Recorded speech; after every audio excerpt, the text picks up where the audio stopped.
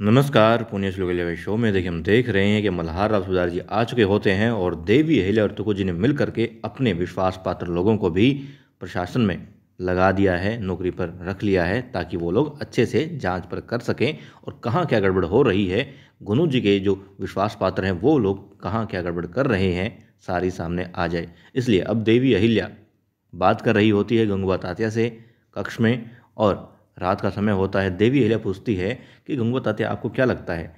क्या असली दस्तावेज़ मल्हार राव सूबेदार जी तक पहुँच जाएँगे? पहुँच जाएँगे या फिर गड़बड़ हो जाएगी, बदल दिए जाएँगे? अब गंगोबा तात्या शंका ज़ाहिर करते हैं, कहते हैं, संभावना तो यही ज़्यादा है कि बदल दिए जाएँगे।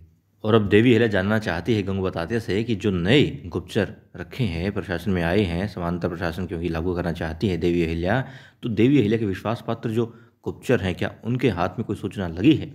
अब गंगूबा तात्या कहते हैं कि हाँ बिल्कुल, नए गुप्तचर हैं, बिल्कुल अभी आए हैं, मगर फिर भी उनके हाथ में ऐसे सबूत आए हैं जिनसे लग रहा है कि हाँ गड़बड़ हो रही है, दस्तावेजों में इधर उधर काम किया जा रहा है, बदला जा रहा है, असली दस्तावेज़ छिपा दिए जाते हैं। तो इसीलिए जो उनके हाथ में दस्तावेज़ लगे हैं, वो और जो यहाँ दस्तावेज़ दिखाए जाते हैं, उन दस्तावेजों का हम मिलान करने वाले हैं। लेकिन मिलान कल होगा। और इस वक्त तो बहुत रात हो चुकी है। यदि उन्हें इस वक्त रात को महल में बुलाया गया तो किसी ना किसी को जो विषयंत्रकारी है, घर का वेदी जो है, उसे शक हो जाएगा और वो सतर्क हो जाएँगे, सचेत हो जाएँगे। फिर देवी हलिया कहती कि हाँ ये बात तो आप सही कह रहे हैं काका।